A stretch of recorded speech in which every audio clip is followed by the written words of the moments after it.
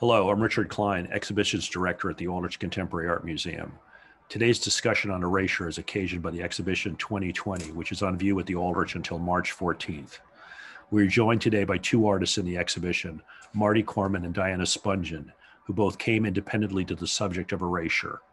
Besides Marta, Marti and Diana, the other artists who have participated in the exhibition include Oasa DuVerney, Judith Eisler, Andy Mister, William Powhida, and Gil Scullion. 2020 was conceived in early 2019 to acknowledge what was promising to be a critical year in American political history. The exhibition was planned to coincide not only with the presidential election, but also with the centennial of the 19th Amendment to the US Constitution, giving women the right to vote, a major milestone in the struggle for equal rights. The year 2020, and now early 2021, has proven to be more tumultuous than anyone could have imagined. Besides a landmark election, the United States has been dealing with a global health crisis and its associated economic fallout, a national reckoning with systematic racial injustice, and a violent denial of the democratic process. Seven artists whose practices include drawing based on photographic imagery were invited to respond to 2020 by creating works on paper that reflect their concerns for this pivotal year. Born in Barcelona in 1970, Marti Cormand lives and works in Brooklyn. Selected exhibitions include Un Elefante en el Prado, Espacio Minimo, Madrid, Spain, 2019. Formalizing their concept, After Levine, After Evans, Josée Bienvenu Gallery, New York, 2018. Walk a Distance and Slow Down, selections from the collection of Joanne Gonzalez Hickey at the Boulder Museum of Contemporary Art, Boulder, Colorado in 2017. Postcards to AZ, Josée Bienvenu Gallery, New York, 2016. Marti Cormand, Galleria Canyon, Madrid, 2014. Formalizing their concept, Galleria Casado Santapau, Madrid, 2014. Formalizing their concept, Josée Bienvenu Gallery, New York, 2013. And False Documents and Other Illustrations, the Portland Museum of Art, Portland, Maine, in 2010. Cormand's work is represented in public collections, including the Museum of Modern Art, New York, Museo Reina Sofia, Madrid, and the Dallas Museum of Art. Cormand is represented by Josée Bienvenu Gallery, New York, and Espacio Minimo in Madrid. Diana Shpungin was born in Latvia's seaside capital of Riga under Soviet rule, and she immigrated with her family to the United States and settled in New York City. The artist's work has been exhibited extensively in solo and group exhibitions in national and international venues, including the Bronx Museum of Art, New York, Sculpture Center, New York, the Bass Museum of Art, Miami, Florida, Tomio Koyama Gallery, Tokyo, Japan, Invisible Exports, New York, New York, the Brooklyn Museum of Art, New York, and the Museum of Contemporary Art, Tucson, Arizona.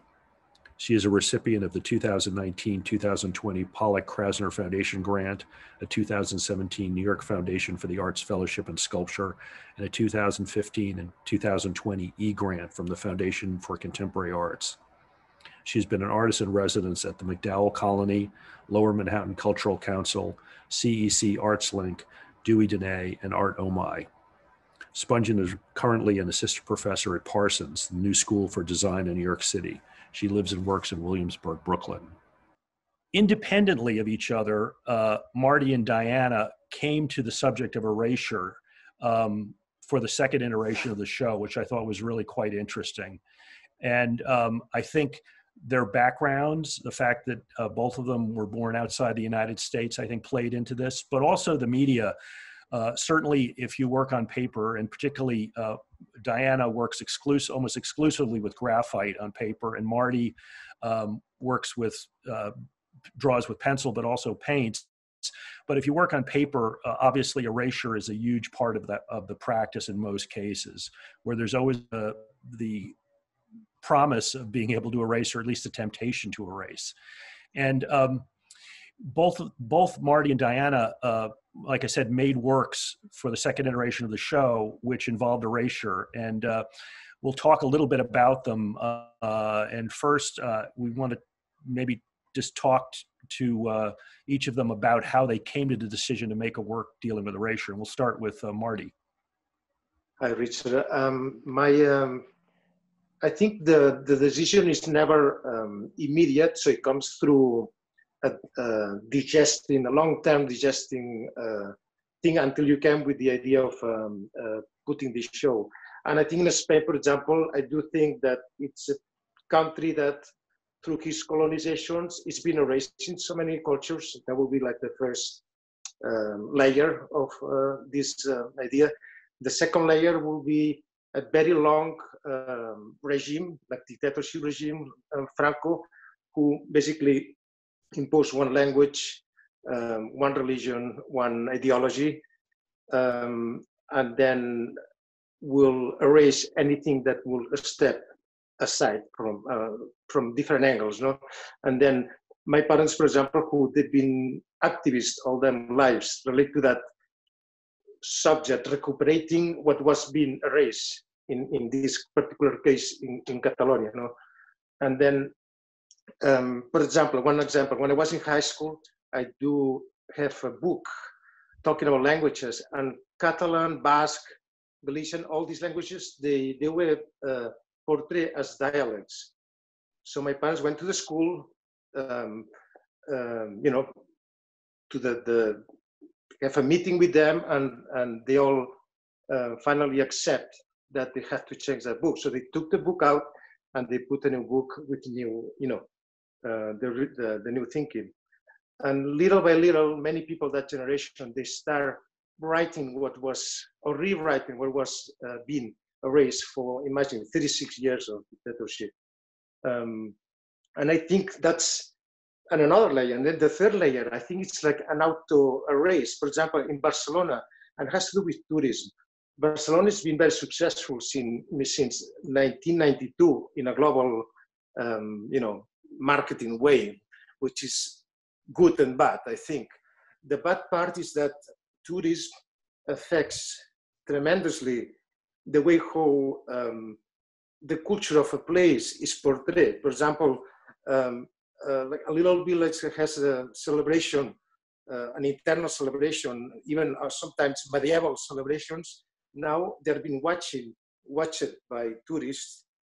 So those celebrations are portrayed in relationship with the tourists. So became a little Walt Disney um, like, and they start losing uh, maybe its own um, authenticity and is changing, transforming the, the culture of the place. And I think that's been happening in many other places in the world. So, and I think it's uh, the latest uh, race of the culture. It's tourism, um, and and in some places, still colonizations, no, in a strong way. So your your work amendments, uh, it's a um, it's a handful of sculptures uh, in which a, a pencil slowly morphs into its opposite, an eraser. And what you were just discussing, it, uh, the, actually is implied by this work of actually the writing of history or the writing of something, and then its gradual transformation and disappearance through time. And um, it's fascinating that you chose a sculptural medium to do this um, when you're you don't make a lot of sculpture. Yeah, and I think uh, it's a good question. I don't know how to answer immediately, but I do think that probably the isn't a sculpture that uh, touch reality is like it, it it it's like the presence of those objects. Even though I manipulate them, they look like you are they're they're there. No, so I I think maybe that's something about that that uh, to bring to the viewer a more close experience probably i don't know exactly know but uh, that could be well it it, it also uh, this is a great segue into into diana's work is that the sculptural installation because the the objects are one-on-one scale they imply the human hand obviously the pencil and the eraser are made to fit in the hand and it implies agency the idea of the hand being the agency to change things and um, even you know with the recent uh, uh election with the presidential election last year we all did drawings. We all, um, most of us, uh, made a mark on a piece of paper that was then fed into a voting machine. And this idea, the hand is actually the agency. It's uh, we, we, like to think of uh, our minds being the agency for political change, but um, you know the protests, the Black Lives uh, Matter protests last year, um, you know, people marching were holding signs with their hands. The, the hand was part of the protest also. And, uh, um, and Diana, obviously, uh, her work, um, uh, Erase 45, deals with a hand, but uh, the hand of our, uh, our past president. So this idea of erasure, before I talk about that work in particular, um, I think it lends itself to the idea of a mistake. So with art making or writing, the idea of erasing something means admitting to an, a mistake. Um, I also think as an artist, when you make artwork about erasure, as many um, artists have, that you're you're kind of somehow showing some vulnerability. You're admitting the mistake. You're making the mistake evident or elevating the mistake. In my own work before Erase 45, I kind of had a unwritten philosophy that I would wouldn't erase, that I would uh, be honest about my mark, even if I didn't like it. so whatever mark was made in a drawing, I would keep it. Um, the only time I'd erase if it was for some technical reason that it wouldn't work in an animation. But other than that, every mark I make is just kind of an intuitive mark. I'm not thinking about how good the drawing is. Um, so I think erasing is is about mistakes and vulnerability um, in terms of art making. In terms of politics, I was, um, you know, I'm an immigrant to this country. I was raised by a, Holocaust survivor, father, and I was constantly being told about history and all the horrors of, of World War II. And obviously, um, perhaps one of the most um, prevalent examples of revisionist history are Holocaust deniers. So that idea of uh, erasing what is inconvenient to your um, political goals. Um, when I made the work Erase 45, I would never have thought that I would make that work um, if you told me some time ago.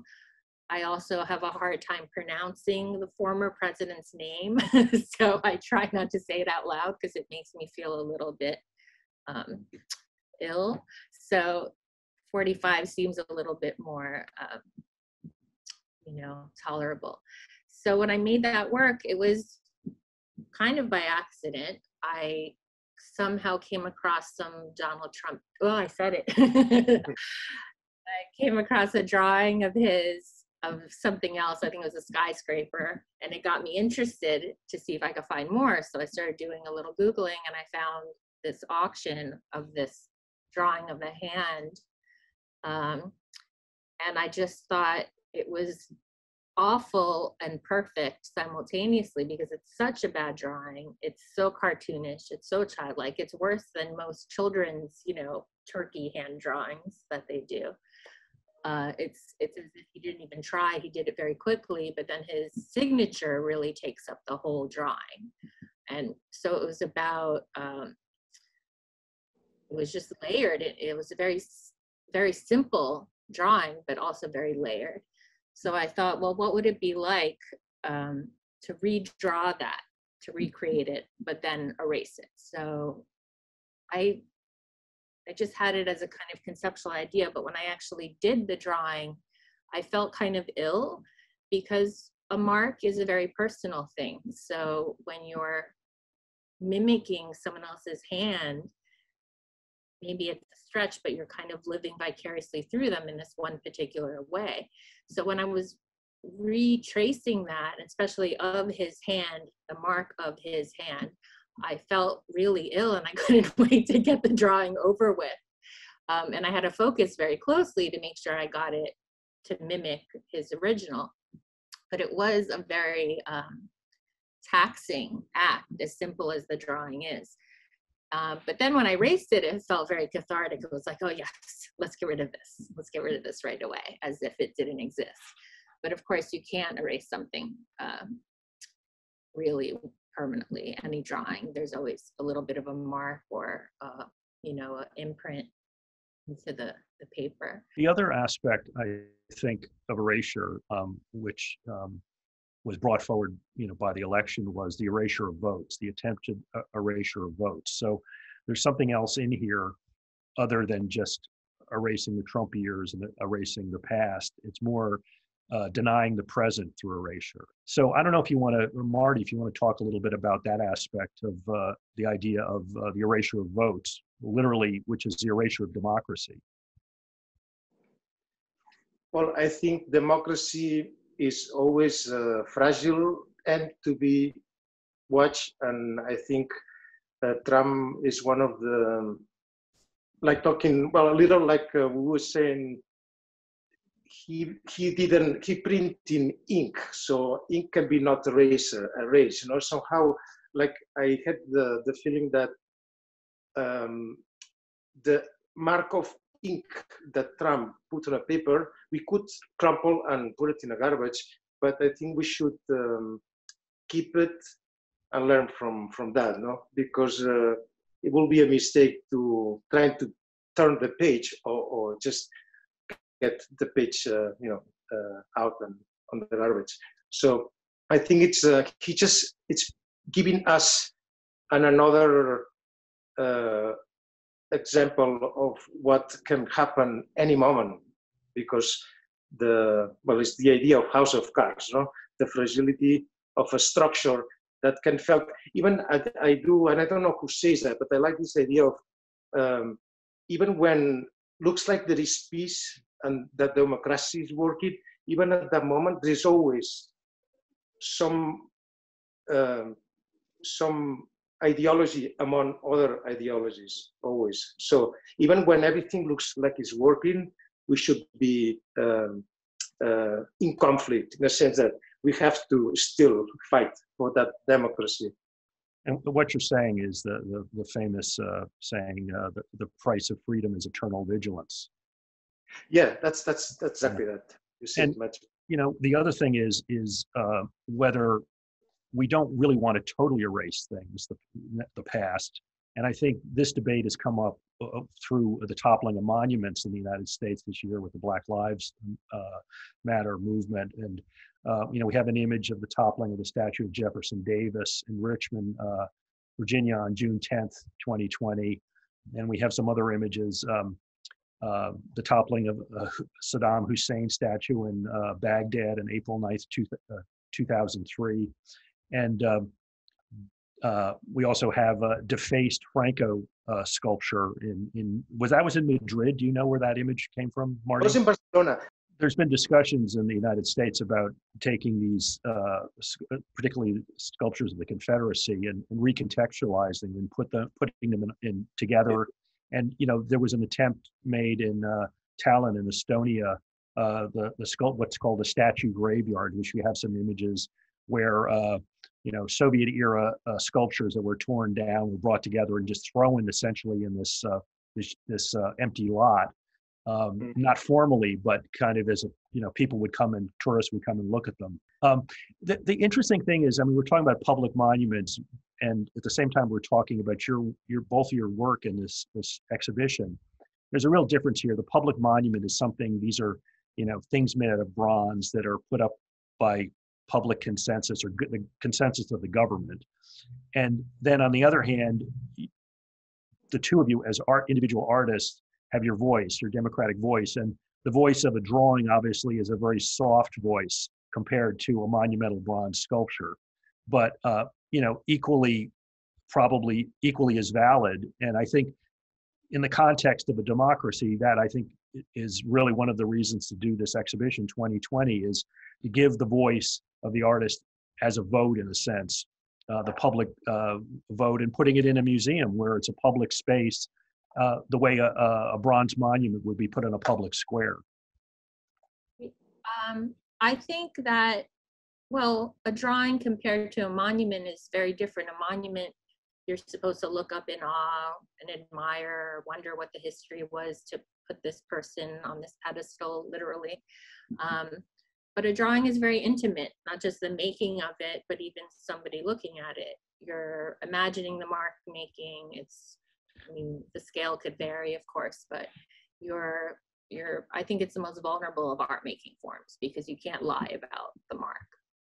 Um, But it's interesting because both what both you and Marti did, there is a, a sense of there is a uh, an element of commemoration in there, like talking about this this time. or in the case Diane of your drawing of a person, um, but you know, as you say, in an intimate way. Um, yeah, I think when thinking about this show in general, I wanted to just wanted to have a quieter moment. There is just so much sensationalism surrounding the last four years and the comedy of it all, the tragedy of it all. I just wanted a more kind of quiet, contemplative moment. Um, and yes, exercise my power, but also with the last piece that I just uh, contributed, where you can take the uh, heat sensitive pencils. I wanted to translate that to the viewer also. They have the power. It's interesting, Marti and I have this kinship of parallels in different ways, but there is a, a at least I think there's a kinship. I don't know about Marti between our work. Um, but I think with the heat sensitive pencils, this idea that you can erase or you can make a mark. And with uh, Marti's work, uh, amendments, this idea that you can, yes, the pencil's turning into an eraser, but you can choose if you want to erase or create. Um, so there's there's power in that. And, and Diane, the, the time the time factor, I think it's important on us. Like somehow you are you you work the time in your favor. Like you you you start from frames to create this movement, and finally, you know, like a, a, a, the message through that movement. And I do the opposite. I dissect. Uh, and in frames, and I, I show the frames. No, like we are on the same path of uh, showing the feeling of um, present or time Yeah. uh, in, in a way that slows down the look of the piece, like like wh- while we are drawing uh, the drawing at that same moment, no, a little, and um, and I think we both have that in common somehow. Yeah, I think time is, yeah, I think time is very prevalent in both our work. And um, it's prevalent, I mean, it's always prevalent. We can't Mm. avoid it. But um, I was more conscious of time these last few years Yes. than ever. I couldn't wait for this year to be over. I was willing to just give up a year of my life to just have it be over already and time travel forward. Um, I've never felt that way before, you know. Um, just things felt very slow, very fast. I still can't believe it's been a year of the pandemic. I just the concept of time has completely been stretched. And, Uh, and, and, and Diana, of course, there's your work is there's a performative aspect to your work, and certainly in Erase 45, it, as you said, it's uh, you drew it and you erased it, and it was you know a duration of time. With Marti's uh, amendments, yes, there's a sense of time, but the amount of time embedded in making that work was considerable. In fact, Marti, you're kind of like the magician that there's the finished objects and you know i don't know how much time you actually made spent crafting those objects but there's certainly an incredible amount of deliberation and it wasn't a one take thing where i know you worked on that for weeks and i think in the in the case of um, marti and uh, diana your work there's a there's a deeper connection it's not just a formal a superficial formal connection between these works but a little bit deeper and i think like i said before the fact that you both came at this unlike the other artists in the show of being born outside the United States, I think is significant. Um, uh, I, I, think the United States has never had to really face up to the fact that, that we don't acknowledge a lot of our past. Uh, you know, we're really, we, we think of ourselves as, uh, you know, being so open, free thinking, but, you know, it's not true. Um, so, you know, the other thing we wanted to talk about is there is a, a history of artists making work referencing era- erasure, and we have, uh, you know, it goes from the formal to the very specific. And there, there's some works, um, and I have to thank Marti actually for pulling these together. There's some works that actually really deal with erasure in a very, very specific way. I think, um, you know, one of uh, one of the most significant, most significant ones are the Guerrilla, uh, Guerrilla Girls piece from 1999, Erase Discrimination, which was literally a, a pink pearl eraser uh, printed with um, the, the Guerrilla Girls logo, the Gorilla mask, and Erase Discrimination written on it, which was a, a, an open-ended edition. Um, I think you also have, um, you know, fame, the famous uh, um, Robert Rauschenberg uh, erased de Kooning drawing from 1953, which was, you know, a really transgressive act of, in, in some ways, this is an act like toppling a monument where you have, you have uh, de Kooning, you know, um, at the top of his game as an American abstract expressionist, and you have a younger generation of artists erase, literally erasing uh, the drawing, um, kind of implying, uh, you know, passing the torch to the next generation and one generation of artists, um, you know, moving beyond the, the previous generation. Um, the um. What's relevant here, uh, Richard, is that the when Rauschenberg erased de Kooning, there's was still like Diana was saying before, there was still a little of the drawing left. So the new generations erased the other generation, but never completely. So there's always the layers of what's left from the other generation that is still in the next generations, you know? and I think that's uh, something that happened then. No, you know, uh, uh, correct me if I'm wrong, but I believe that actually Rauschenberg asked de Kooning about this, actually talked to him. Like de Kooning was aware that he was doing this, which I thought was very interesting. And of course, de Kooning, I, I think, didn't object to it at all, which, I, you know, I, I think, you know. Um, as far as I know, de Kooning chose the drawing that he would. Right. Uh, Okay. Isn't it that Jasper Johns wrote the sentence Yes. on it? No, Yeah. Diana or Yes. Richard? I Yes. also thought that work is, you know, it's longing too. It's wishful thinking, like I'm better than you. I have power over you. But also that act, um, I obviously thought about that work a lot when I made Erase 45. Um, I think that act elevated de Kooning in a way because he created it as an artwork. It hangs in the Whitney, and there it is, right? So um, it's more about de Kooning than I think it is about Rauschenberg. Um, so I don't know what that says about my work, Erase 45, but I guess I can't, er- uh, he can't be erased. You know. And of course, you know, another example would be uh, Claes Oldenburg and Coosje van Bruggen's uh, typewriter eraser, the large, uh, which um, is outside the uh, National Archive building. And Marti, did you see this when you were at the archive building? Did you actually? I, I, I completely miss it because at that point I was not yet uh, thinking about the erasing, no? And I definitely will, I will, I saw, I have seen it in pictures, but I, I completely miss it. And that, that was right in front. I know that was in front. So, you know, obviously the National Archive is not about erasure. It's about, you know, saving things, uh, valuable things that are valuable to the nation. And uh, slyly, uh, Oldenburg and van Bruggen put a giant eraser outside this building, uh, which uh, the, the, you know, was paid for by the, the federal government, I believe, the sculpture, which I think is wonderfully ironic, actually, to put an object like that outside a building to save things. Archiving, archiving is inherently choosing. So you're choosing what to archive, so you're erasing everything else, right? What are all Yeah. those things rejected? Um, so I think it's, Diane, that's a very good point. When you choose, you are erasing something else always. And I think that's a very important point here. The idea of what looks like this is our building with our history means this is our, choice of the history we, we, we want. Then there's other histories that are not there, you know, and that's, that's great. That's a good point.